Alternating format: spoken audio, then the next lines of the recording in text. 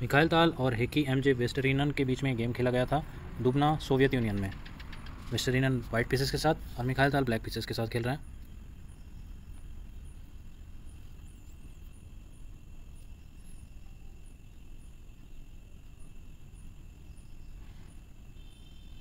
कुछ इस तरह से मिखाइल ताल ने स्पॉन को लिया, शुरुआत में ही अपने वज़ीर को निकाल कर घोड़े पर दबाव। तो वेस्टरिनन भी ऊँट और हाथी लेने की फिराक में मिखाइल ताल अपने राजा से बहुत ही अलग ढंग से इस ऊँट को बचाते हुए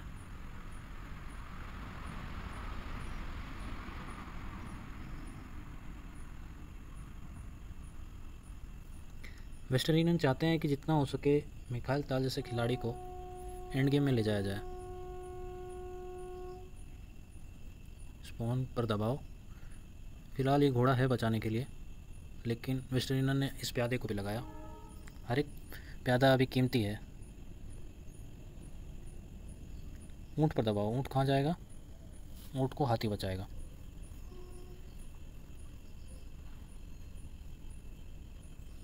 और इस तरह से बी टू पॉन को संरक्षण मिला, लेकिन ए टू पॉन हाथ से निकल गया। हाथी पर दबाओ और साथ ही साथ ई फाइव पॉन पर भी। दोनों एक साथ मिखाइल ताल बचाते हुए। खतरे की घंटी, ये ऊँट और ये हाथी मिखाइल ताल हमला बोल रहे हैं सी टू स्क्वायर पर।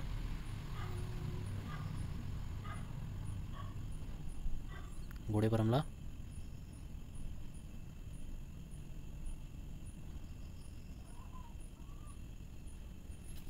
क्या करने की ताक में है यहाँ पर?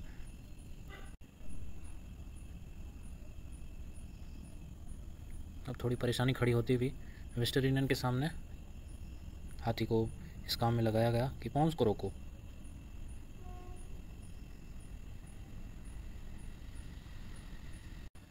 पॉन्स ए फोर पॉन अगर ले भी लें वेस्टर यूनियन अपने हाथी से तो ये घोड़ा निकल जाएगा हाथ से। दोनों ही बचाना है। मतलब घोड़ा भी बचाना है और पॉन्स भी लेने हैं। चेक। घोड़ा पिन हो गया है। घोड़े को देकर दो पॉन्स लिए हैं वेस्टरिनर ने।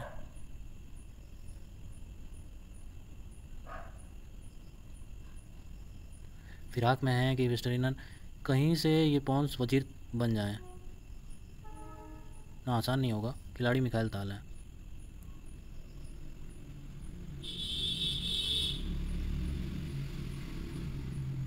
और इसके बाद वेस्टरिनर ने रिज़ाइन कर दिया, क्योंकि आप देखिए मिकाइल ताल जो है यहाँ पर, हाथी और इस ऊँट की बदौलत उनको रोक ही लेंगे।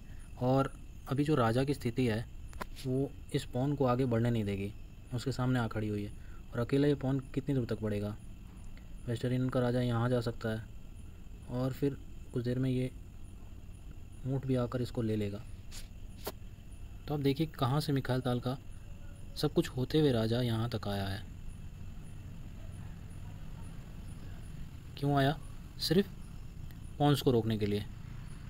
जबकि एक पीस पहले से था एक्स्ट्रा मिखाइल ताल के पास, लेकिन फिर भी राजा यहाँ पर सिर्फ़ पॉन रोकने के लिए आया।